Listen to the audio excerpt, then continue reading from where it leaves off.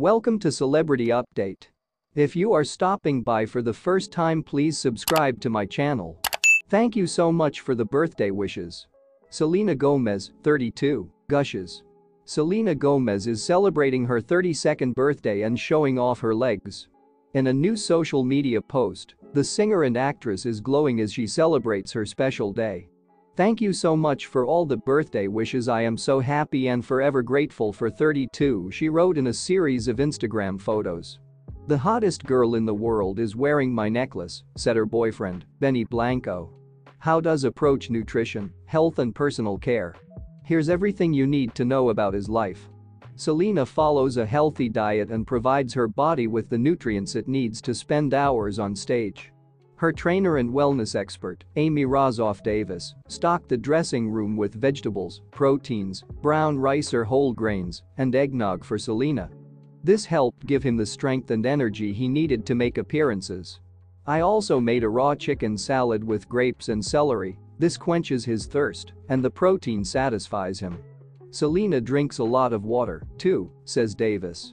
According to the Mayo Clinic, hydration is important for several reasons.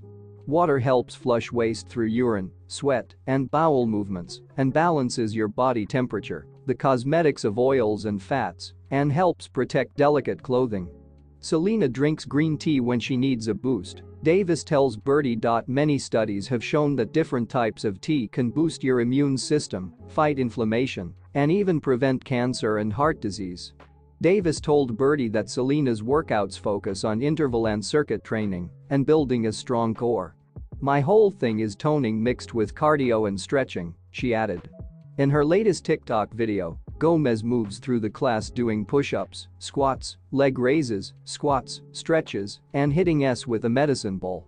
Davis told Byrdie that Selena also does pilates. Should you try pilates? Exercise has many benefits, according to the Mayo Clinic. It strengthens the core while increasing flexibility and improving overall health. It can also develop long, flexible muscles, prevent injuries, reduce stress and lower back pain, and improve sports performance and a greater body mind. What are your thoughts about this? Do well to subscribe and drop a comment in the comment section.